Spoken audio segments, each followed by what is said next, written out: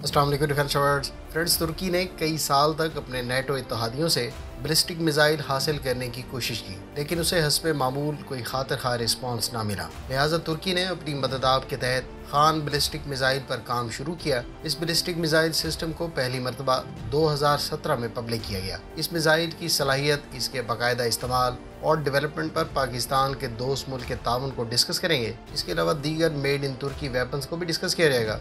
So let start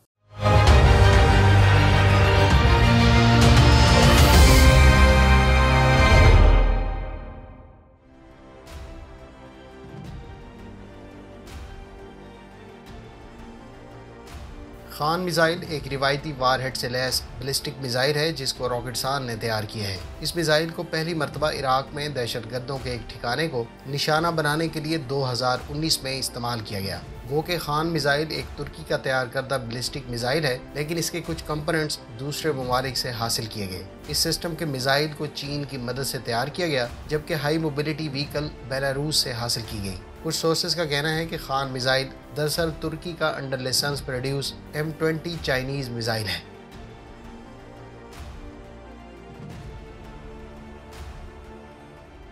Khan missile की vehicle launcher पर दो कंटेनर्स मौजूद हैं, जिसमें शॉर्ट रेंज बलिस्टिक मिसाइल मौजूद होते हैं। इस मिसाइल को बोरा भी कहा जाता है। बोरा मिसाइल को रॉकेट सान ने तैयार किया है। ये मिसाइल काफ़ी हद तक Chinese B P twelve A missile से मवासलत रखता है। इन मिज़ाइल को वर्टिकली लॉन्च किया जाता है। इसकी रेंज 280 किलोमीटर है और मिज़ाइल की टोटल लंबाई सात अशारिया आठ मीटर, जबकि डाया मीटर छः डायामीटर 610 मिलीमीटर है। मिज़ाइल का वज़न 2500 किलोग्राम और इस पर 470 किलोग्राम का रिवायती वार हेड इस्तेमाल किया जाता है। ये मिसाइल हदफ को 10 से 30 मीटर की एक्यूरेसी पर निशाना बना सकता है। इस बैलिस्टिक मिसाइल सिस्टम की high mobility vehicle 525 horse power के इंजन से पावर्ड है, जबकि इस व्हीकल की top speed 70 kilometre per hour और रेंज 1000 किलोमीटर है। इस सिस्टम को ऑपरेट करने के लिए चार क्रू मेंबर्स की ज़रूरत है।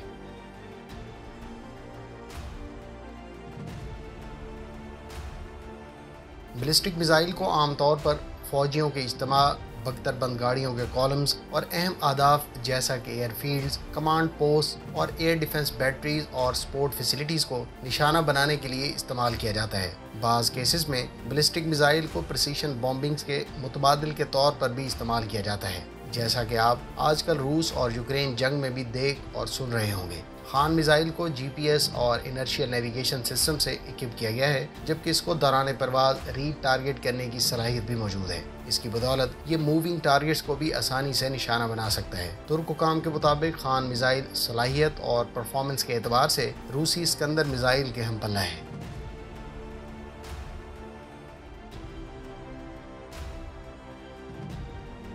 कारा अटमाका रॉकेटसान का तैयार करदा surface to surface cruise missile है। ये मिसाइल इस कंपनी के अटमाका एंटीशिप क्रूज मिसाइल पर बेस्ड है। कंपनी का दावा है कि ये एक jamming resistant long range cruise missile है, जिसको टेक्टिकल व्हीकल से लॉन्च और स्ट्रेटेजिक लैंड टारगेट्स के खिलाफ इस्तेमाल किया जाता है। इस मिसाइल के बारे में रॉकेट सान का कहना है कि ये हाई प्रिसीशन लो ऑब्जर्वेबल और ऑल वेदर ऑपरेशन कैपेबिलिटी रखता है। इस मिसाइल का टोटल वज़न 890 किलोग्राम जबकि 6 मीटर इस लंबे मिसाइल के वॉर हेड का वज़न 250 किलोग्राम है। इसमें इमेजिंग इंफ्रारेड सीकर का इस्तेमाल किया गया है। कार आर्ट माका में जीपीएस इनर्शियल नेविगेशन और टिरेन रेफरेंस नेविगेशन गाइडेंस इस्तेमाल की गई है। इस मिसाइल की रेंज 280 किलोमीटर है। इस मिसाइल सिस्टम की टेक्टिकल लॉन्च व्हीकल पर एक वक्त में चार मिसाइल रेडी टू लॉन्च मौजूद होते हैं।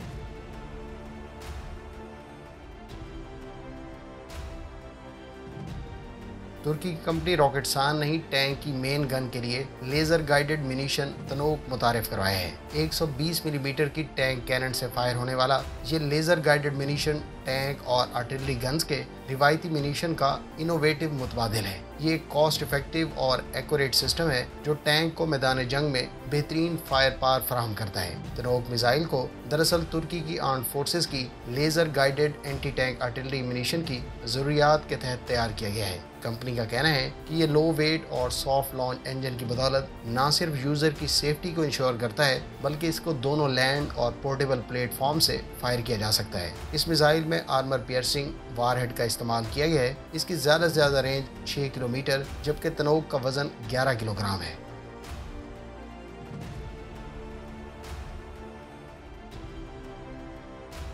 तुर्की कंपनी रॉकेटसान ने लाइट अटैक एयरक्राफ्ट और अनमैंड एरियल व्हीकल्स के लिए M M T air to ground precision guided munition तैयार की है। फिक्स विंग स्ट्रक्चर और बेहतर वारहेड की बदौलत न सिर्फ़ इस मिसाइल की, ड्रोन्स के conventional air to ground munition से रेंज ज़्यादा है, बल्कि ये नस्बता ज़्यादा पायदार आदाफ को निशाना बनाने की कैपेबिलिटी रखता है। एम एम टी को तुर्की इस वक्त अपने यकिनजी ड्रोन पर इस्तेमाल कर रहा है। जबकि पाकिस्तान एयरफोर्स की इस ड्रोन एक्विजिशन में ये मिसाइल भी वेपन पैकेज का हिस्सा होगा। इसका टोटल वज़न 95 किलोग्राम और रेंज 30 किलोमीटर से जायद है। एम एम टी दोनों साकिन और मोबाइल टारगेट्स के खिलाफ कारामद है।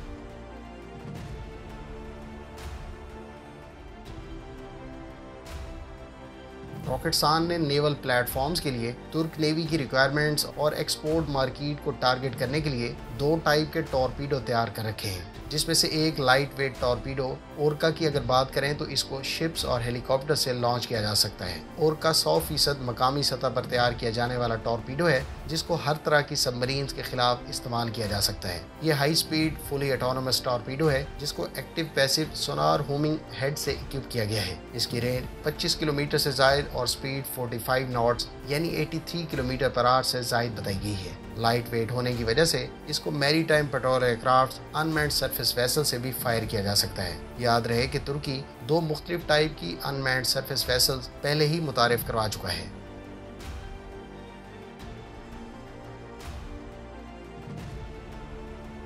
Akya torpedo heavy weight torpedo है, जिसको सबमरीन के खिलाफ सबमरीन से लॉन्च किया जाता है।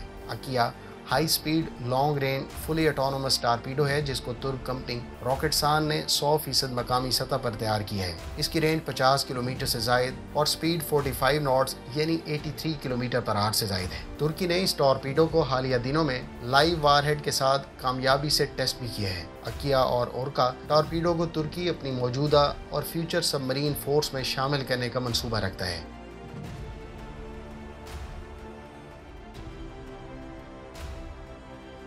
तुर्की ने अमरीकी साख्ता Harpoon anti ship cruise missile को रिप्लेस करने की गर्ज से Atmaca anti ship cruise missile भी मुतारफ़ करवाया है। इस मिसाइल को फ्रिगेट्स कॉर्वेट्स और असाल्ट बोट से लॉन्च किया जा सकता है। इसके अलावा इसको ग्राउंड बेस्ड लॉन्चर से भी एंटी शिप रोर में वक्त ज़रूरत इस्तेमाल में लाया जा सकता है। ये एक high precision, low radar cross section और resistant to jammer anti ship cruise missile है। इसका वज़न 750 किलोग्राम और रेंज 220 किलोमीटर से जायद है। इसका फ्यूचर में 300 किलोमीटर से जायद रेंज वाला वर्जन भी मुतारफ कराया जाएगा। फ्रेंड्स आपको in made in Turki weapon में से कौन सा वेपन अच्छा लगा कमेंट बॉक्स में इसका इजहार ज़रूर करें।